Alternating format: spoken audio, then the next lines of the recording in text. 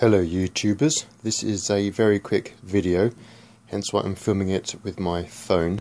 Um, these are some speakers that came my way ages ago, and I put them into storage, and I dug them out today. Um, they look really unimpressive.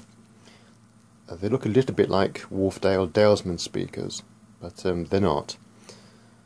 Uh, then I thought I'd open them up to see what's inside them. And It has a rather nice 12 inch Wharfedale speaker in there um, from the 60s. So then I thought that must have the same, surely. So I opened that one up and and it's a Wharfedale but it's not the same type. This has uh, the red Alnico magnet that vintage audio enthusiasts really like. So at least one of these cabinets has been retrofitted with a different speaker. But um, I'm wondering if they both have, because the cabinets look to me like they've come from an old uh, radiogram type unit. And um, I'm wondering if both of those speakers have been retrofitted. But at least one has. So I've removed the drivers from the cabinets and they really are refined.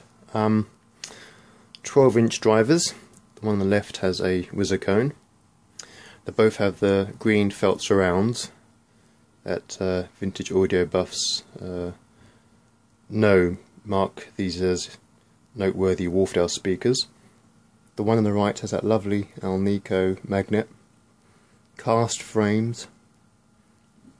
Yeah, very nice. I've heard them up and running, they do sound good.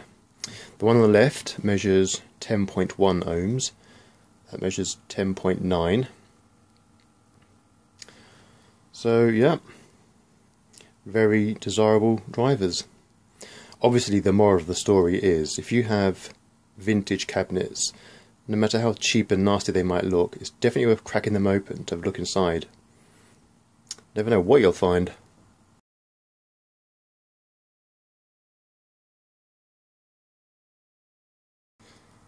Uh, audiophile. No, no, no, no, no, no. One on the right has that lovely Alnico speaker, speaker magnet.